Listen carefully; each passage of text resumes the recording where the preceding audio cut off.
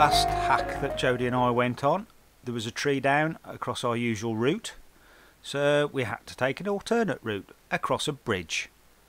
Unfortunately, it was a metal bridge which has never been across before, so I didn't know what sort of reaction we were going to get. So here she goes. Not entirely keen on going across that, but she was a good girl. Good girl.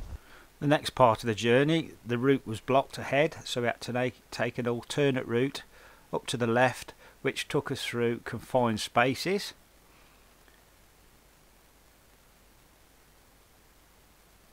Under low branches.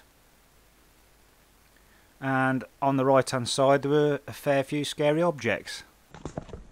Notice on the left hand side there's a bit of a drop off as well, so uh, the only support that we've got is a metal fence on our right hand side. Good.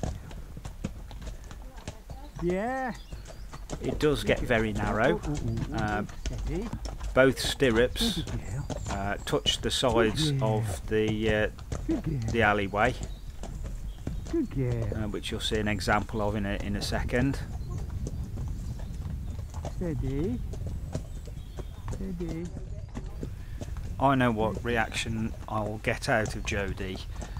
Uh, the reason being is because we've done a lot of narrow spaces, scary objects, overhanging branches uh, as part of our TREC training. So she is familiar with the, the obstacle, in this case obstacles.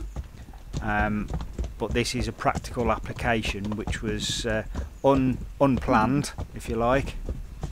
So uh, it was a good test that the, the TREC training uh, is having an effect on how she You know where you reacts to things. don't you, girl? She relaxes at this point anyway because where where we come out is part of our usual hack route anyway.